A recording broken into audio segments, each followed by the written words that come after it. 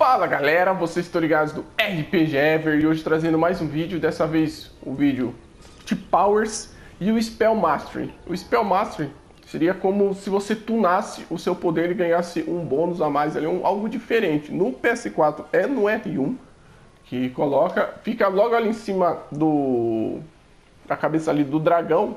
O meu seria o Conduit Ice. Mas tem outros aqui, eu vou dar alguns exemplos aqui.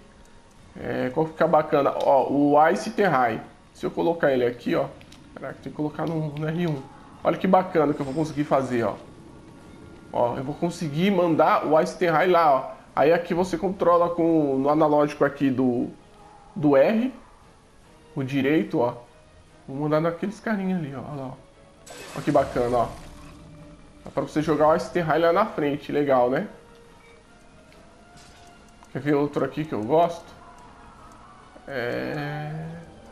Ó, o Steel Time também é bacana, viu? O Steel Time tá até um buffzinho ali pra, Paris sair correndo ali mais rápido. Quer ver, ó? Ó, ó. Ó lá, ó. Você já sai mais rápido, tá vendo? É bacana, né? Bom, os outros eu acho que não dá, tipo... Os poderes que eu sei que dá alguma coisa assim diferente do Control Wizard é esse. É um buffzinho. Aí tem um que, que é esse aqui, você pode jogar o, o Ice High lá na frente. Deixa eu ver aqui. Se tem o Desintegrate. Hum. Tá, tem um negócio ali que acaba com que os bichos morrem ali se, se tiver 480 do... Ah, eu não entendi muito bem isso aí, mas beleza. Então, galera, é... Eu só dei alguns exemplos, aqui é um vídeo bem rápido, só para explicar sobre isso aí. Tem gente, acho que tem galera que está começando nova ainda não sabe disso.